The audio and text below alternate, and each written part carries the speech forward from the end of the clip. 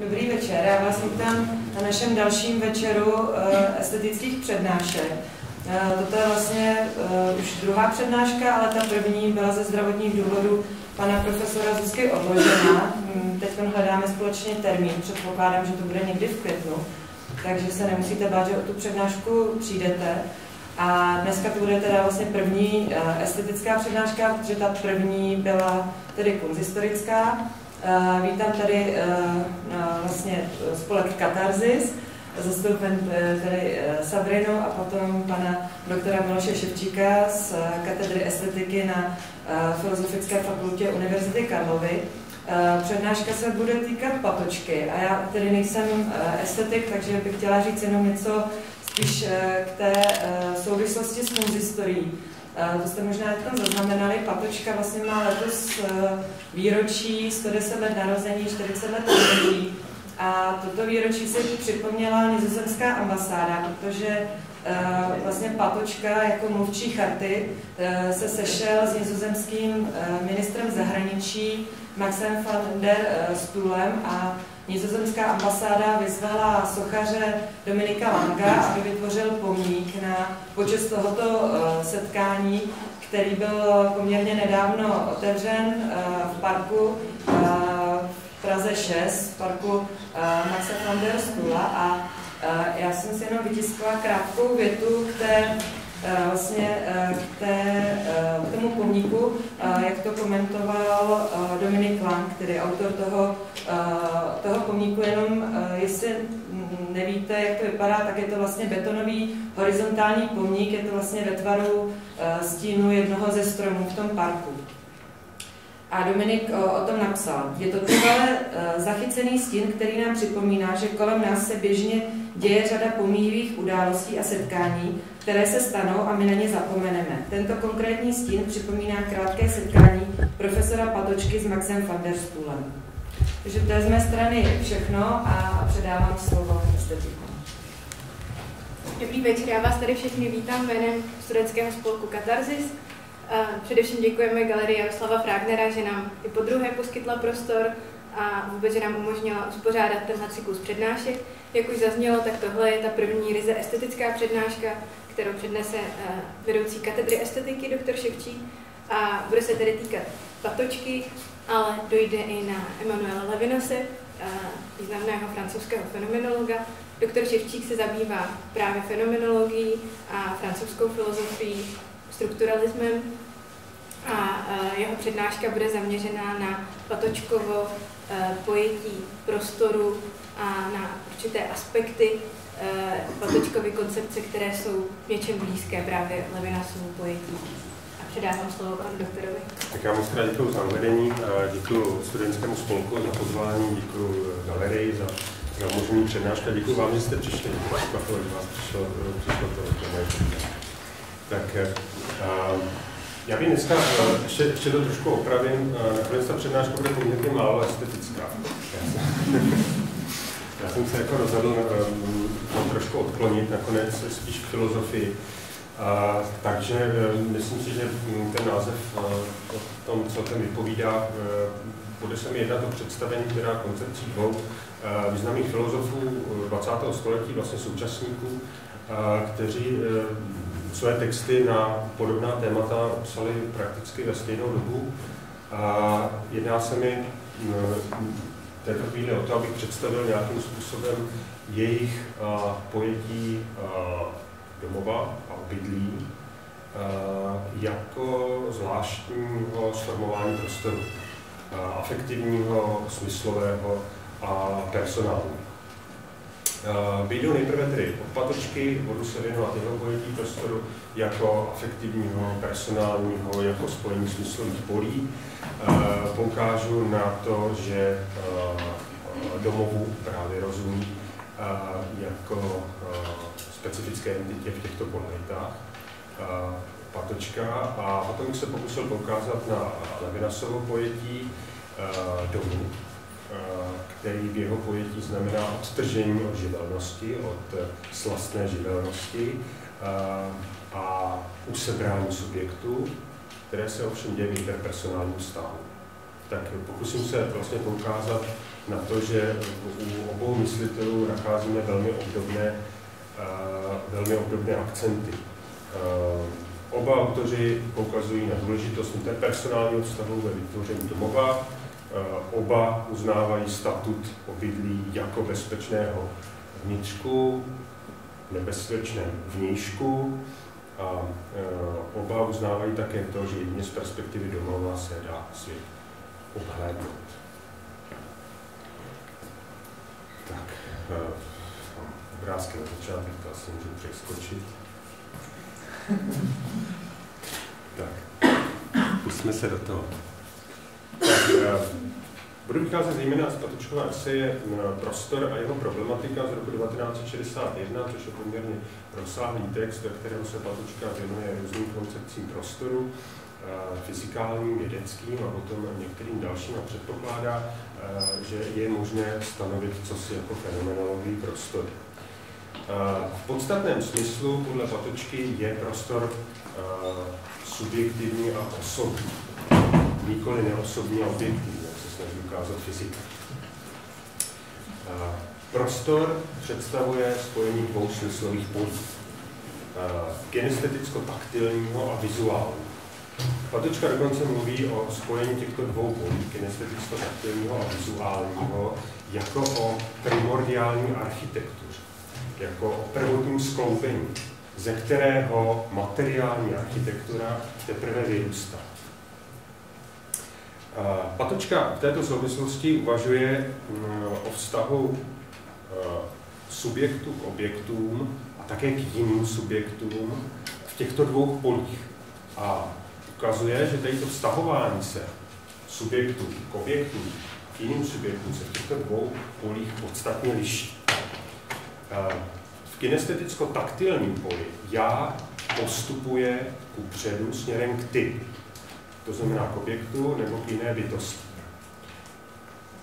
Je to záležitost tělesného pohybu, který může principiálně pokračovat do nekonečna, jak říká Patočka, do bezmezna ve kterém se ty rozplývá.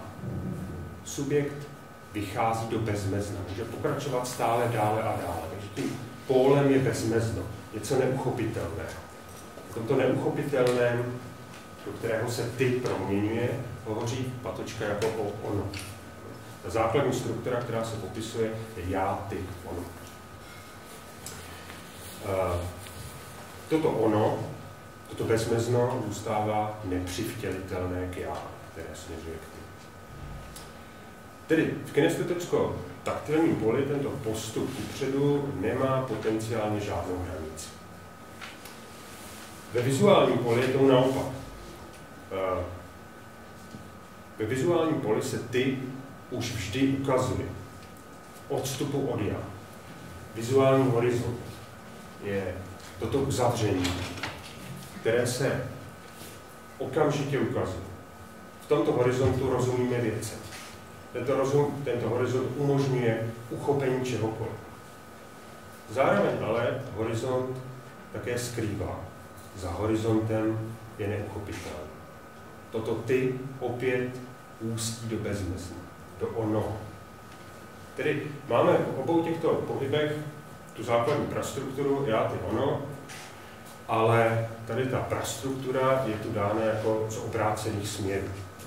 Je to komplementarita, ale přicházející z navzájem opačných směrů. Tedy odlišnost vztahu mezi já a ty se ve dvou smyslových polích, kinesteticko-taktilním a vizuálním, představuje jako korespondence opozice obou smyslových polích se vyjevuje spojenectví mezi já a ty, kterém hovoří Patočka jako o my. My, tedy spojenectví já a ty, toto spojenectví je ale zároveň neoddělitelné od periféry, od neuchopitelného bezmezna, od ono.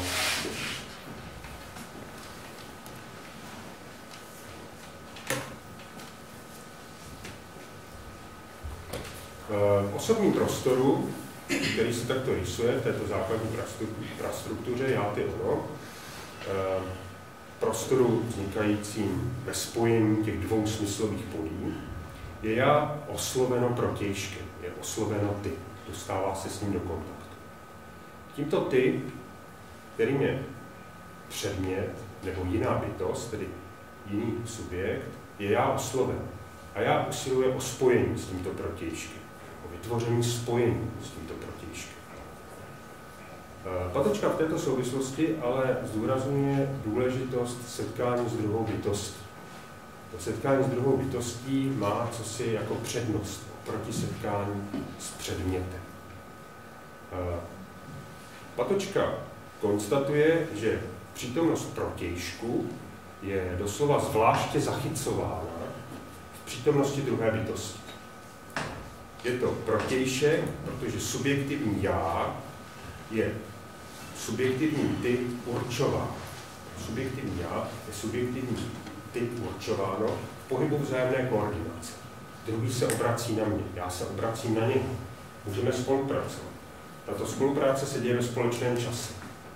Druhý se na mě obrací specifickým způsobem. Tahle specifičnost toho obracení ty k já se může proměnit. No. Všechny tyto vztahy se nedají sledovat ve vztahu já k objektu. Jedně ty, které má subjektivní charakter, dokáže produkovat takovéto typy vztahů. Patečka dokonce říká, že ty jako protějšek definuje já jako personální bytost. Ty se obratí, obrací na mne jako na protějšek, jako na partner. Já je určeno jako já jedině způsobem, že se ty obrací na já. To oslovení druhým, oslovení druhým subjektem mne určuje partner. Určuje mě jako já, jako subjekt, který je schopen takového vztahování. Definuje já jako personální bytost. Definuje já jako individuální bytost, a to v osobním oslovení, říká Potečka, do kterého se oslovení jakýmkoliv protějškem, tedy i protějškem předmětným, prohlubuje.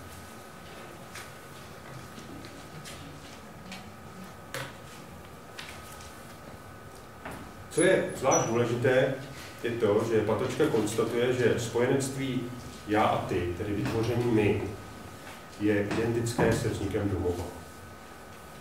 My, tady, to, tady ta koalice já a ty, je jádrem domova. Ale toto jádro domova, my, tato dosažená harmonie, ta dosažená koordinace, my, se vždycky zároveň vztahuje jako ono. Je neoddělitelná od té periferie, od toho cizího, toho bezmezného, do kterého nakonec vyústňuje. Do onoho, ono, které je cizí a vzdálené. Domov, který je bezpečný, střícný, je vždy v kontaktu s nebezpečnou a ohrožující periferií. Patočka říká, že domov je výsledkem osobního usilování o zakotvení do věcí. A že společně s uchopitelnými věcmi se na vytvořené my, na to harmonizované my, obrací i anonymní horizont. Ten horizont, ta skrytá stránka toho horizontu, to bezmezno, které je za tou viditelnou hranicí. Eh, nehledě na neprůhlednost periferie světa, periferie, kterou je horizont, je domov e, místem, ve kterém lidé existují jako individua, ve kterém jsou určeny jako osobní bytosti, ve které se na ně někdo obrací, ve kterém je někdo osloví. Existují jako individu. Jak říká Patočka, je to domov je místo, ve kterém se temnota neuchopitelného proměnila na světlo individuace tady v té harmonizaci, tady v té koalici vznikají subjektivní individuální pól. Prostor tedy zahrnuje jak bezpečný vnitřek domova, tak i nebezpečný vnějšek periferie. V prostoru, kdy postupuje proces transformace anonymního ono do my. Jádro prostoru, kterým je toto ustavené my je ale vždycky, říká Patočka, relativní a nezabezpečené, protože neustále zůstává v kontaktu s periferií, s horizontem. nebezpečný. A tohle vztahování se, ten kontakt se nedá vlastně nikdy přerušit.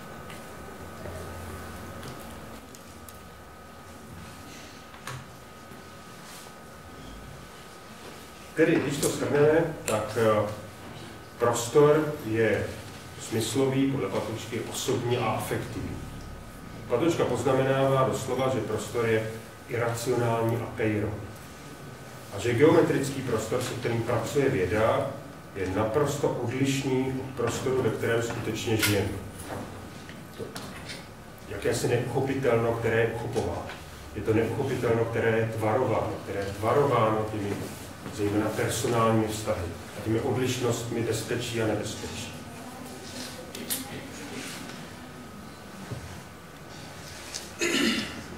Prostor samotný je prostorem chaotických pohybů a tendencí. Z těchto chaotických pohybů a tendencí se procesem, dějem a dramatem vytváří cosi jako bezpečné místo, umístěné do nebezpečného kontextu. Patočka to velmi pěkným způsobem shrnuje, když říká, cituji, Prostor samotný je procesem dějem a dramatem, ve kterém se bytosti setkávají, zbližují, zaklíní do sebe navzájem, aby si v něm vytvořili svůj vždy ohrožený, provizorní, ale tak hluboce vytoužený a milovaný domov. Konec citátu. Prostor samotný, který je smyslový, chaotický a dramatický, nepřipouští geometrický přístup. Osobní prostor není, jak říká Patočka, spácium ordinatum, ale spácium ordinans. Je to proces vynořování, proces ustalování. Ale je to vždy proces, protože to, co je ustálené, je relativní, dočasné a vždycky znovu ohrožované. Tedy neznamená nějaké definitivní vytvoření řádu, který bude zachováván, ale jeho vytváření, jeho narušování a přetváření. Takový je, je domov. Domov je tedy vždy provizorní, je to provizorní organizace iracionálního apejronu, eh, který prostor v podstatě je.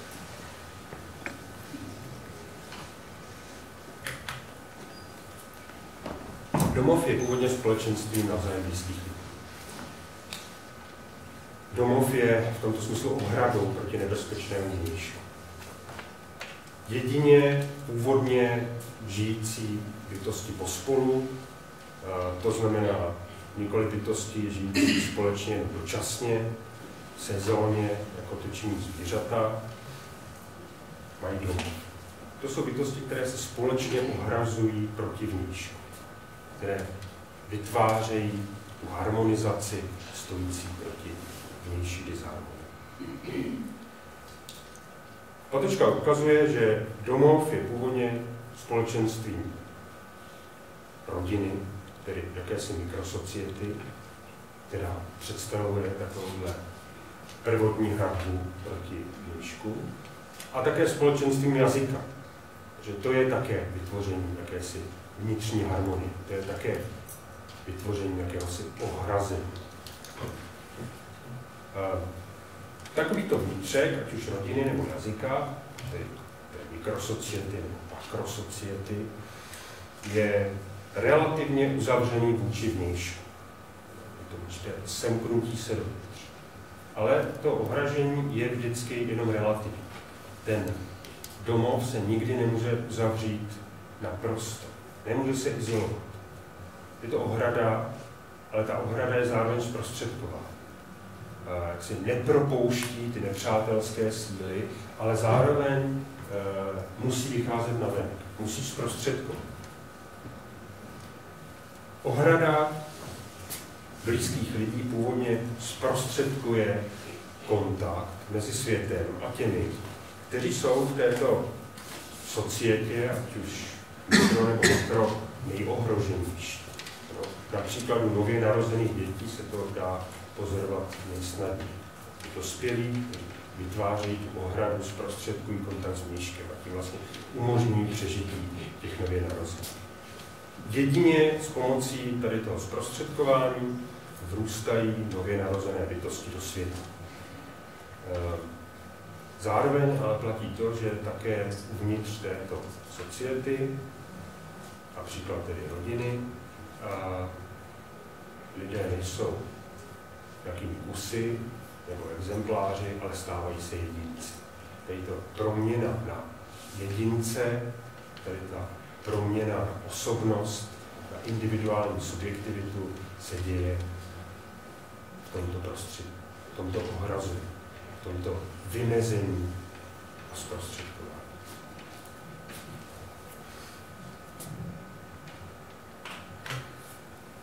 Lidské bytosti vždycky usilovaly o fyzickou realizaci tohoto vnitřku a tvorbu jakýchsi materiálních důsledků tady toho původně pocitovaného bezpečí vnitřku.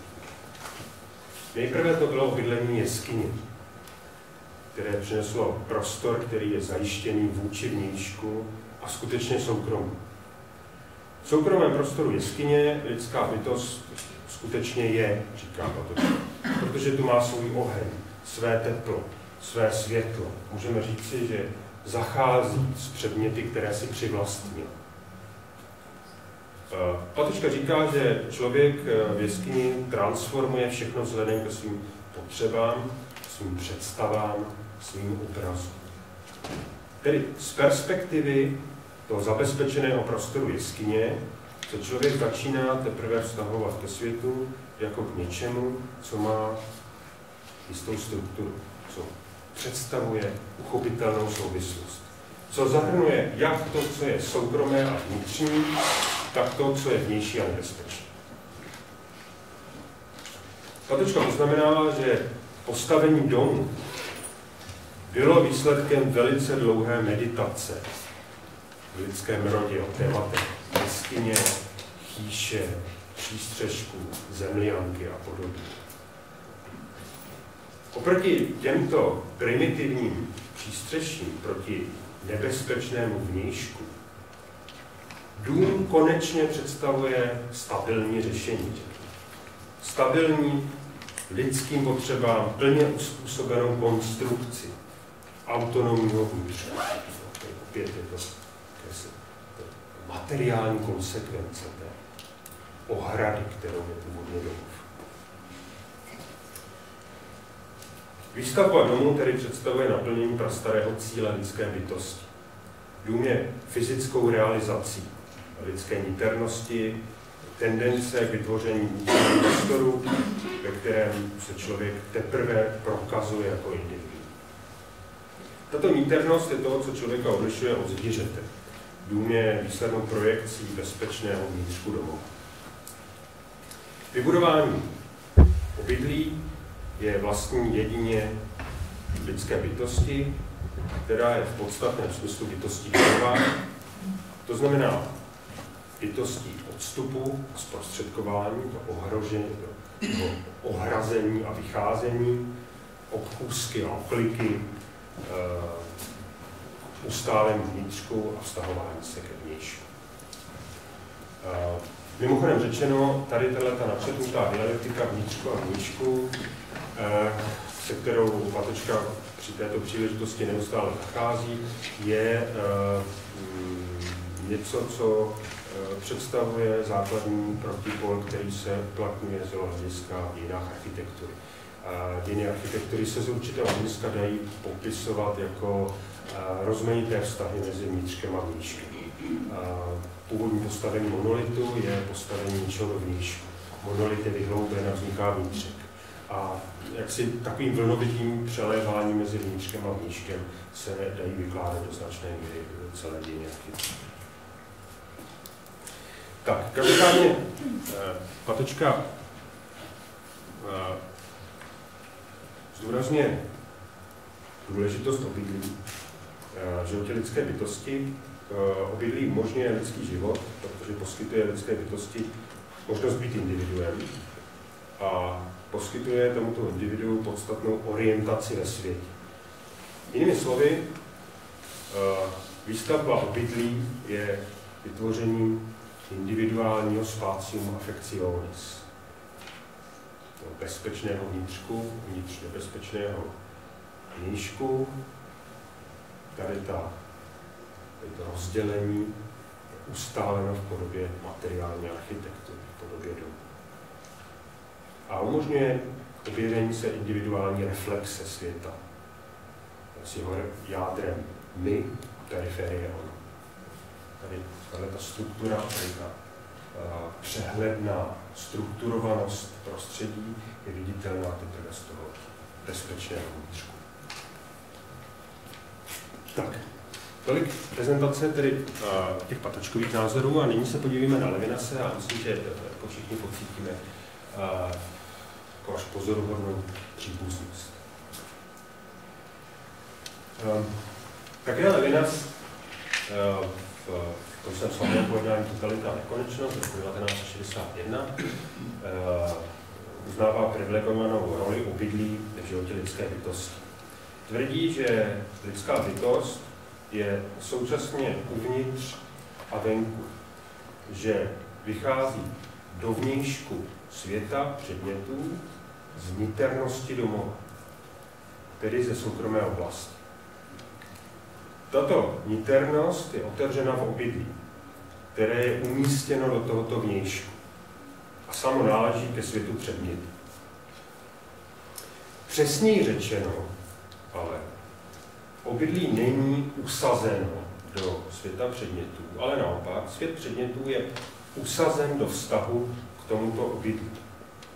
Neboli vnějšek světa objektů existuje, když existuje vnitřek obydlí. Vnějšek jako vnějšek, vnějšek předmětů je srozumitelný z té perspektivy pohledu zevnitř. Člověk, který se usebral, který existuje jako niternost, vychází zevnitř domu do prostoru, ve kterém zachází s předměty. Tento prostor předmětů, se kterými zachází, je otevřen díky tomuto východisku zevnitř. Tedy ten prostor těch předmětů je vstažen k tomu vnitřku. Ten vnějšek je korelativní k tomu vnitřku. Levinas tvrdí, že niternost domova je primárně vnitřkem usebrán. Tato niternost je založena v přerušení doslova bezprostředních reakcí na smyslové prostředí. Ustanovení obydlí domu znamená přerušení vztahu ke smyslovému prostředí. Obydlí vytváří oddělení od tohoto prostředí. Z hlediska je to oddělení od elementů smyslové existence. Doslova opět od neuchopitelného a pevného. Levinas konstatuje, že obydlí znamená poodstoupení od anonymity živlů, od anonymity doslova země, vzduchu, světla, moře nebo lesa. Obydlí rozbíjí v určitém slova smyslu extatickou a bezprostřední slast z těchto živlů. Jsme obýváni větrem, noříme se do zelení lesa nebo oceánu. Tak eh, obydlí znamená přerušení toho extatického vztahování se živlů k elementu. Levinas eh, v této souvislosti poznamenává také to, že tato slast ze elementů, tato slast ze živlů je vždy nebezpečná a převrací se v obavu, protože je vždy stahována do určitých propastí těchto živlů. Oceán jako příklad takového živlu je něco, do čeho se slastně ponoříme, ale co také představuje nebezpečí. Tady ta slastnost je v Levinasově pojetí vždycky nebezpečná. Je to něco, co ohrozí. Levinas říká, že obydlí ukončuje tady to vegetativní vztahování se k prostředí, tady tu vegetativní komunikaci se živly, které mohou být příjemné nebo nebezpečné, nebo obvykle příjemné i nebezpečné. Obydlí nicméně zůstává otevřené těmto živlům obydlí umožňuje dvojznačnost odstupu vůči elementům, tedy dvojznačnost odstupu a spojení separace a otevřenosti. Je to ohrada, která je ale prostupná. Která je samozřejmě prostupná. Okny, dveřmi. Samotná funkce obydlí spočívá v přerušení plnosti živlu. V otevření útočiště, ve kterém se subjekt usebírá, obydlí u sebe sama, ve kterém krystalizuje jako já, oddělené od té živelné existence. Toto usebrání já, to znamená subjekt, konstituovaný, toto oddělení od elementů, je teprve schopný, nás, vytrhovat věci z živlu. To znamená vlastnit je, pracovat s nimi. A také je schopný teprve nyní odhalovat a kontemplovat svět předmět. Protože oddělen od živlu a teď to oddělení umožňuje distance. A teprve v této distanci se ukazují předmět, když na nás bezprostředně nenaléhají jako slastnost živlu. Kontemplace eh, světa eh, předmětů subjektem tedy předpokládá událost ustavení obydlí. Událost odpoutání se od elementu, od živelnosti a usebrání se v intimitě domova. Tato intimita je konkrétně dosažena, říká doslova Levinas, eh, díky obydlí je realizována v domě. Levinas říká, že usebrání, samodílo separace je doslova konkretizováno jako existence v obydlí. Usebrané já empiricky sídlí v domě. Odpoutání od elementu, které se realizuje v domě, v obydlí, tedy opět eh, v jakési konstrukci, odpoutání od elementů a kontemplace světa však začíná pozitivně. Začíná u intimní obeznámenosti. Levinas opakovaně zdůrazňuje, že začíná u vlídnosti jiného. Vlídnost jiného je to, co otevírá toto usebrání, tuto intimitu, díky které se můžeme vztahovat ke světu jako prostředí předmětů, se kterými můžeme zacházet. Předpokladem je tato intimita, tato intimní obeznámenost, vlítnost jiného. Domov je intimita. Je to však vždy intimita s druhým. Vztah s jiným je podmínkou jak usebrání se subjektu, které jeho bytí u sebe, jako personálního, tak i existence domova, jako něčeho, v čem je já usebrané z čeho vychází dovnitř. Levinas říká, že domov jako útočiště té nebezpečnosti, živelnosti, znamená především pohostinnost a přívětivost, nabízené jiným. Jiný, který přijímá v intimitě, je ty blízkosti.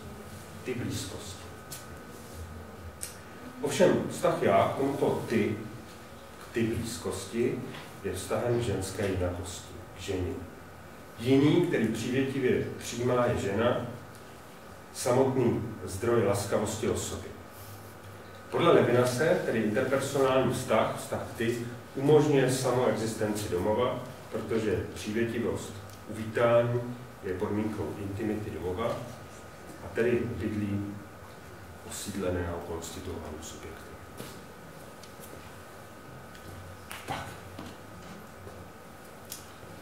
Blížíme se k závěru.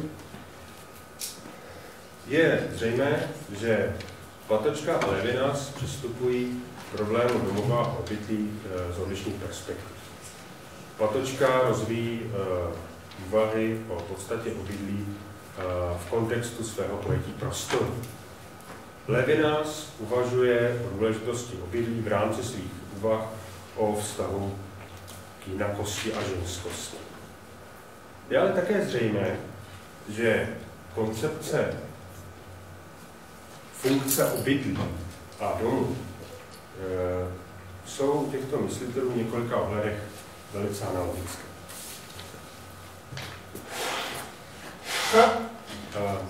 Přes odlišnosti jejich koncepcí interpersonálního vztahu oba autoři zdůrazňují důležitost tohoto vztahu ustanovení domova. Domov především znamená druhou osobu, která oslovuje a vítá.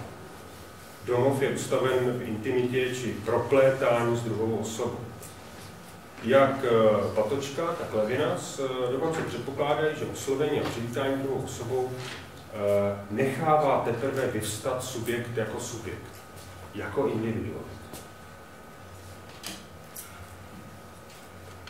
Přes odlišnosti pojetí Patočky a Levina se podstaty smyslového světa oba autoři tvrdí, že vytvoření domova ustanovuje odstup ve vztahu k nebezpečnému prostředí smyslového světa. A oba autoři také předpokládají, že e, stavba domu je odpovědí na původní potřebu nepřímého stahování se tomuto světu. Stavba domu představuje definitivní rozchod s ponořeností do nebezpečného prostředí smyslového světa a zajišťuje podmínky pro vznik reflexe nebo kontemplace tohoto světa. V nejistém vnížku smyslového světa představuje obydlí, zabezpečený vnitřek, ze kterého je možné pojmout svět jako takový. Tedy, jako vždy, alespoň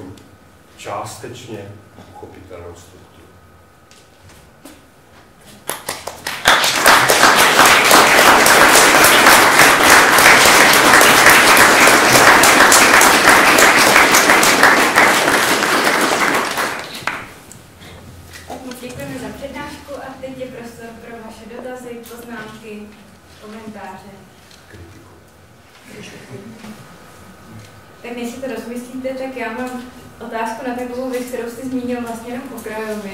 A netýká se ani estetiky, ani architektury. Ale uh, vy jste tam mluvil o tom, jak uh, Patočka a ostatně i Levinas hodně, hodně zdůrazňují vztah k druhému a to, že právě druhý um, určuje individualitu. A uh, Tady o tomhle uh, aspektu Patočkova uvažování mluvil uh, profesor Sokol, pokud se nepletu v uh, dokumentu Darovat smrt, který natáčel skoro okolností absolvent estetiky Boris Jankovec. A profesor Sokol tam poukazoval na to, jak se tenhle postoj Patočkovi svým způsobem hrozně vymstil ve vztahu k výsledkům STB, hmm. protože se snažil dodržovat vlastně zásady své filozofie. A myslíte si, že tahle špatná zkušenost a ostatně Levinasova, jakožto uh, židovského autora ve Francii, uh, taky nebyla asi úplně, úplně dobrá, tak myslíte si, že to, že to jde odmítnout toho, toho druhého? Na to vám jako nedokážu odpovědět. Já myslím, že uh, um, já když jsem poprvé četl Levinase před nějakými, už nevím kolika lety, nějakými 20, tak eh, bych řekl, že atmosféra ve společnosti byla úplně jiná než dneska. Tak je to, dneska mi to téměř připadá jako provokativní názor. Ono, ono to vždycky chtělo být provokativní. Jako vždycky ty, ty Levinasové formulace, hlavně v tom pozdějším období, jsou jako mimořádně provokativní v tom smyslu, že on klade důraz na to, že, že ten druhý má přednost a, a jako ve všech směrech a že jako jde tak jako hrozně jako daleko v těch svých pozdních textech, že říká, že bychom dokonce měli jako uvažovat o tom, že se nezabíráme někomu druhému prostě jako místo. tak, ale jako dneska mi to připadá teda ještě mnohem provokativnější, jako, jako v dnešní atmosféře něco s něčím takovým jako by argumentovat. Obecně se mi to jeví, že to prostředí na vůči takovém názoru bude mnohem méně tolerantní, než to bylo před třeba 20 lety, ale možná jsem příliš pessimistický v tom náhledu. A eh, pokud se týká jakoby, vztahu těch dvou autorů, tak eh, eh, je, je, je pravda, že to je jako přítomno, přítomno obou. Samozřejmě ta, ta Levinasová pozice je v tomto směru hrozně jako exaltovaná. Patočka s tím jakoby nepochybně, nepochybně počítá, ale Patočky chybí to zdůraznění, řekněme, etické konotace tady toho stavu. U Patočky je to zasazeno do jakési obecné fenomenologie lidského světa, jako životního světa, tří pohybů a podobně, tak jako ten akcent, řekněme, je odlišnější a mnohem ještě radikálnější než Patočky. Jsem Martin Kora. Chtěl jsem se zeptat, jestli je eh, v těch úvahách nějaká paralela mezi domem jako tou jednotkou a městem, nebo vlastně mezi tím vztahem dvou bytostí, jako tím jednodušším a nějakého toho společenství, třeba jako společenství jazyka, to bylo Děkuji. Uh, tak um, zase to musíme trošku domýšlet, jo. Uh, protože u Patočky něco jako filozofie města příliš uh, se nevyskytuje, uh, respektive vyskytuje, se tam zrovna filozofie jako řecké polis a prostě myšlenka obnovení polis jako, jako odpovědnosti v moderní době. Ale to je spíše otázka jako angažovanosti a odpovědnosti eh, člověka, eh, záležitost architektonická nebo eh, staveby. U Levina se naopak nacházíme jako některé úvahy, které se jakoby přímo tohodle dotýkají. V, v jednom z těch svých pozdějších textů, jako, které jsou orientované k židovské problematice, se vrací Levinas k tématu útočistních měst, do kterých tedy prch, prchlíci mohou odcházet v případě, v případě invaze a poukazuje na to, že, že město je jakýmsi mm, přirozeným prostředím pro realizaci interpersonálního vztahu. A že je přirozené, že lidi mají raději města než vesnice, protože se dá více potkat lidí. Jo, e, tak opět je to jako, jako z odlišných e, jako perspektiv, e, perspektiv um, podané. U Patočky ta, ta otázka města jako vyloženě zůstává někde na okraji, když uvažuje prostě o, o architektonice, řekněme, tomu původním architektonickém spojení těch smyslových polí a nějaké hmotné realizaci, tak město je jakýsi velmi pozdní výsledek vlastně tohle rozrůstání domova, těch fyzických, fyzických konsekvencí domu, vesnice a nakonec města.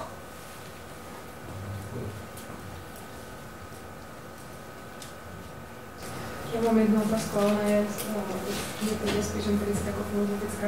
Vy jste hovorili o patočkovu mezi domova jako společenstva rodiny a jazyka. Mhm. A já rozumím, kam ty míry, protože jazyk to spája prostě to společenstvo rodiny, ale zároveň děti, které jsou ja práve vďaka rodičom dvojazyčné, takže mám slovenčinu a francúzštinu, mm-hmm. tak uh, v tom prípade by naznačovalo, že sa to rozvíja, ale ja mám pocit zo skúsenosti, že oni sú spíš viac otvorené potom všetkým ostatným jazykom, pretože ako by zrazu dostali pocit, že všetkému ide porozumieť, pretože doma majú tak rozličný, tak, tak rozdielný proste priestor. No.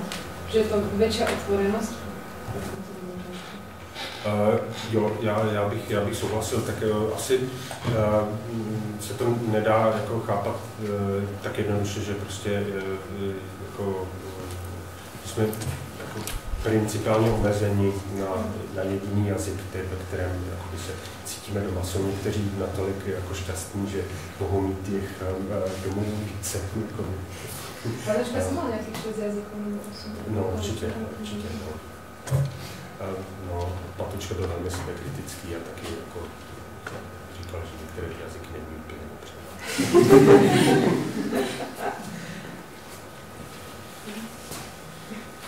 No, tak nevím, ta parola by se dala možná nějak rozvá, jako rozvádět o tom, v jakém stavu je rodina, jakým způsobem se rozpadá, se skládá, tak možná ti dvojazyční by nám patřili. Mě právě Iva napadlo, že Patočko byl tak otvorený člověk, že to vymezení jazyka je tak úzké, zrazu, že, že rozmýšlám, jak by to je to jakési prvotní vymezení, do kterého se člověk rodí a do kterého prvotně narůstá. Zase jsou určitě jako proti příklady v dnešní době jako velice patrné, kdy dítě růstá do prostředí, ve kterém se mluví dvěma nebo třeba, třeba jazykama. Jo. Tak jako patečka nemohla myslet na všechny tyhle, ty, tyhle, ty, tyhle ty souvislosti. Spíš jako nějaký jako typický, řekněme, příklad toho, jak tomu tak, jak tomu tak bývá. Ale jako nepochybně je možné mít těch domovů, řekněme, více. Tak ještě nějaká otázka? Jo, já bych se chtěl zeptat, vy jste mluvil o tom, že Patočka mluví o domovu, o domovu jako o ničem, co je bezpečné, naopak to vnějším je jakožto nebezpečné, přičemž mě napadá, že právě to vnější je stejně tak soubor domovů. Tak mě zajímalo, proč já jsem, tu, já jsem tu záležitost samozřejmě trochu zjednodušil, abych to dokázal nějakým souhrným způsobem říci. Ta potočková strukturace toho personálního charakteru prostoru je složitější.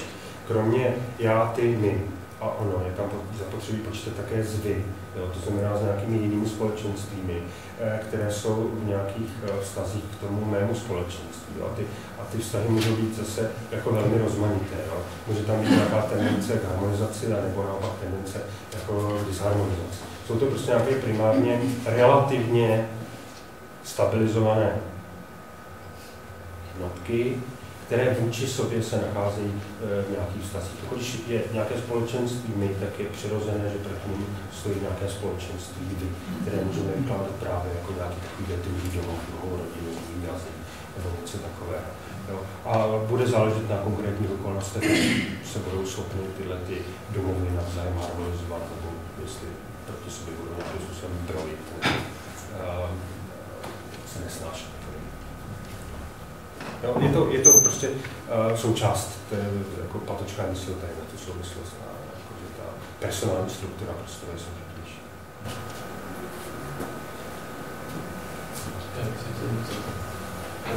teda, jestli v filozofickém hledisek vzniká ten domov v nějakém, v nějakém kontaktu s druhým člověkem, teda, hmm. Tak jestli to znamená, že vlastně samotná architektonická schránka toho domova se stává irrelevantní, pokud tam jako že k tomu kontaktu nedochází, nebo jak tomu může napomáhat? Uh, tak na to se dá se odpovědět jako, eh, jako různým způsobem principiálně. Ta, ta architektonická schránka, jak říkáte, je takovou přirozenou konsekvencí tady tohle spojení. A ta, ta konsekvence je něco, co má jakoby umožňovat um, jakousi plnou realizaci tady té intimity nebo tohle splétání, jak, jak to říkají ti, ti autoři. No a jako samozřejmě může tady ta náplň eh, té schránce také chybět, ale dá se říct, že ta schránka vlastně s tím svým samotným charakterem volá potom, aby se ten obsah nějakým způsobem realizoval. Nepochybně ano, nepochybně ta, ta schránka může zůstat prázdná, nebo se může vyprázdnit. Um, to ale jako neznamená, že je navždy ten obsah se dá vždycky znovu doplnit. Ještě nějaká otázka? Já se zeptat, pokud jsme mluvili o tom městě, teda jako v tom dalším kroku toho jednotlivého domu, tak jak, jestli by se dalo odhadnout, jaký třeba vnímání prostoru nebo eh, druhých lidí má člověk, pokud naopak to vezmeme na zpátek k těm teda eh, primitivnějším nebo primitivnějším způsobům bydlení, jako člověk situaci bezdomoví nebo nomádství třeba, nebo hmm. uh, nějakých jiných uh, způsobů toho obývání, který je jiný než ten klasický dům, tak jak je, uh, jestli, jaká je ta jeho vlastně situace a třeba do jaký míry je ta situace toho domu situací vlastně ne člověka obecně, ale člověka evropského. Uh, já si myslím, že oba autoři směřují k tomu, že to je záležitost naprosto obecná. Že uh, v žádném způsobu lidské existence se nedá um, vlastně pominout tenhle ten, tenhle ten aspekt jakýsi stabilizace domova. Že ta stabilizace domova může mít jako rozmanité podoby. Nemusí to být nutně vždy jako obydlí z nějakého pevného, nesložitelného materiálu ale i v případě toho nomádství je tady určitá tendence směřování uh, k ustálenému obydlí. Jakoby nomádství se děje v krajině, které je osídlené městy nebo vesnicemi. Ta polarita toho vztahování tady vždycky existuje. Že vždycky tady existuje možnost jakoby dojít k nějaké materiální realizaci toho domova, nebo se u ní aspoň zastavit, pobývat podobně. Jo. Tedy mm, jako, řekl bych, že ty podoby toho vztahování se k té materiální architektuře budou v různých způsobech lidské existence rozmanité, ale tady, ta, tady ten pól se nikdy nedá jako vyloučit. Vždycky představuje jako podstatnou součást té struktury existence, tedy to vztahování se k něčemu, k něčemu stabilnímu, jako k něčemu trvalému. V případě takovýchto rádů. Vlastně to trošku možná navazuje na tu předcházející otázku.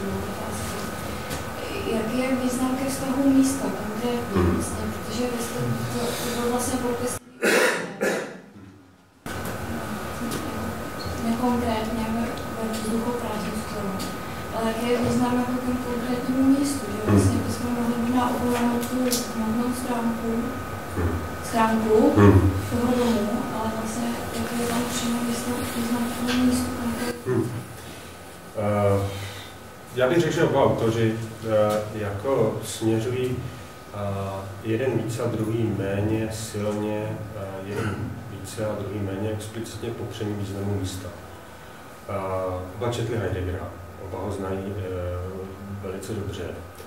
A řekl bych, že jejich uh, pojetí uh, prostoru a obydlí nebo domu je odlišné. Uh, jak si Platočka uh, se zabývá strukturami lidské existence obecně a řekl bych, že ten vztah ke konkrétním místům, k jejich dimenzionalitě, které mluví třeba Norbert Souls a tak podobně, není podstatná. A, nebo není příliš podstatná. A Levinas je autor, který uh, to výslovně popírá. Ten to výslovně odmítá. Ten výslovně kritizuje Heideggera za to, že to je pohan.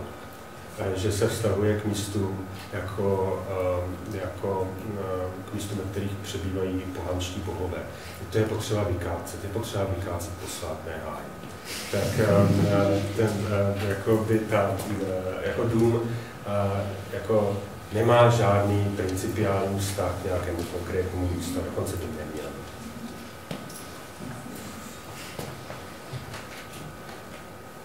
Ještě nějaká otázka?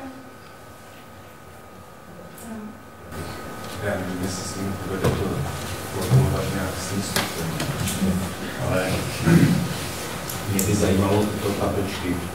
Eh, nemám pocit, že rozumím tomu, jak je, eh, jaká je role toho objektu, to znamená předmět. Eh, protože jestliže tomu rozumím správně, tak pod pojmem prostoru on chápe prostor zkušenosti, který, která je následně subjektu. A chápu, že ještě bych si dovedl představit, že ty předměty ve vztahu k takovému prostoru zkušenosti nebo k tomu subjektu jsou nějaké instance toho prostoru nebo něco takového. Ale není přece jenom nějaký typ vztahu i mezi těma předmětama e, navzájem, no, bez toho subjektu, když třeba z druhé strany toho, toho předmětu, nebo, nebo když zavřu oči, jako ta, není mezi těma cihlama toho domu náhodou taky nějaký vztah, i když se na ně nekoukám? Tak asi jo. Já to nechci zničovat, ale uh, uh, asi jo, ale jako nejsou to vztahy tohohle typu. Nejsou to vztahy uh, domova, nejsou to vztahy bezpečí a nebezpečí, nejsou to... Jsou to, jsou to nebo nejsou to vztahy prostorové?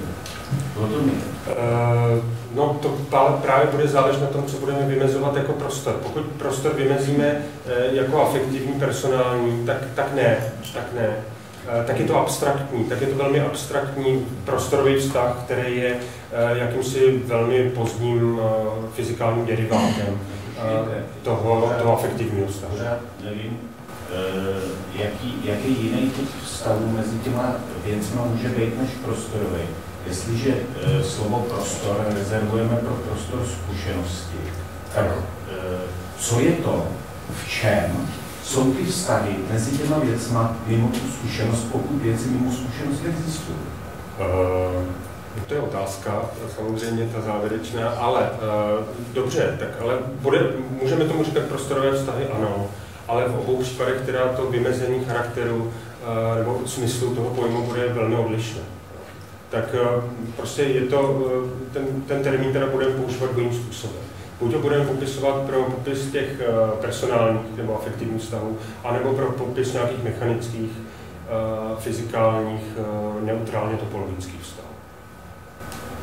A ten patočka to chápe No, ten patočka to chápe tak, že tyhle ty vztahy, tyhle ty neutrální a... Prostoru, anebo že prostor je homogenní. Ještě jednou. Že je prostor homogenní, anebo že jsou dva radikálně heterogenní typy prostoru. Prostor zkušenosti a jakýsi uh, abstraktní prostor. Uh, ani jedno, ani druhé. Tenhle ten, eh, tenhle ten prostor, o kterém hovoříme, teda ať už budeme mluvit o něm jako fyzikální, neutrální, abstraktní, je něco, co je odvozeno z toho původně personálního afektivního prostoru. Že ten prostor personálně afektivní je původní a vědeckou konstrukcí z něho byl vytvořen prostor. To znamená, že tvrdíte, že pro to patočku ty předměty neexistují jinak, než jako představy. Ne, ne, ne, představy ne, jako, uh, ne, ne, ne, jako, um, jako něco, co se dá zapsat pomocí exaktních formulí. No, ale e, o tom nemluvím.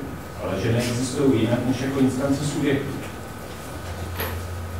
Jestliže ten prostor instance subjektivní, jakýsi, abstraktní nebo co, je pouze derivátem toho prostoru zkušenosti, ano. tak potom z toho plyne, že ty předměty, který se jeví v prostoru zkušenosti a teda nějakým způsobem existují v tom prostoru vymájeným, to ty gravitace a takových podivností, tak ty druhý předměty, jejichž vztahy jsou instancema toho abstraktního prostoru, je v tom případě byly taky derivovaný jenom z těch instancí toho prostoru zkušenostního nebo jinak. Ano, ano. Čili by to byla opravdu jenom představa, což znamená, že by to bylo závislé na tom prostoru zkušenosti jako uh, ontologicky. Jo? Ne, nějak jenom, protože předtím o tom nevíme, ale v zásadě ano, v zásadě ano. V zásadě ano. Prvotním faktem eh, existence je, je eh, lidské vztahování se ke, ke soucnu. Eh, tohleto, tohleto prvotní vztahování Patočka se snaží nějakým způsobem popisovat a v tomhle vztahování jsou rozmanité možnosti, mezi nimi je to i tady ten abstraktní vztah k předmětnosti. Ano, v tomto smyslu ano. Kdyby jsme my neměli už prvotně vztah k prostoru jako ke soucnu, kterému rozumíme například tím způsobem afektivním, smyslovým a personálním, tak by tady nevznikla ta možnost toho abstraktního se vztahování předmětu. V tomto smyslu je tady jakási, řekněme, snad ontologická přednost. Nebo ontická přednost, ontologická přednost. Ne, dobře, ale jestliže ten, eh, to znamená, že ten svět, no by se to dalo víc do nekonečna, no. ale stejně mě udivuje, že jestliže ten, ten svět mimo tu zkušenost je e, jenom nějak v tom světě zkušenosti, jo, tak jak je možný, že ty předměty se jeví, jako by na sebe působily. Protože No, zase, no, jako těžko říct, že ten svět je v tom světě zkušenosti. On je od něho spíš odvozený, on je od něho derivovaný. Nějakým způsobem se z něho vyvíjí. Že? Jako, tak nedá se, nedá se říct, že by to byla podmnožina v množině. No. To, to, to, to, je, to je nepřijatelné. Jak to? Prostě je evidentní k tomu, kdo s Patočkou nesouhlasí, je, že jakýkoliv svět mimo zkušenost se může mě jevit jenom ve světě zkušenosti. V podobě nějaký no, svojí reprezentace, která uh, předpokládá, že ten druhý svět Jo, ale jsou velice různý, různý způsoby reprezentace a velice různý způsoby zkušenosti. Jedna věc je jakoby smyslová zkušenost s tím, na co saháme, na co vidíme. A velice úplně jiný způsob zkušenosti je, je matematická nebo fyzikální formule, který rozumí. Jo. To jsou hodně odlišné sféry. Jo. Jo, takže jako, jako nedá se to pojmout jako podmnožina v množině, jako něco, co by tam jako, jako bylo a my to jenom vytáhneme. Je to jakýsi produkt, je to jakási derivace na základě zvláštního postupu.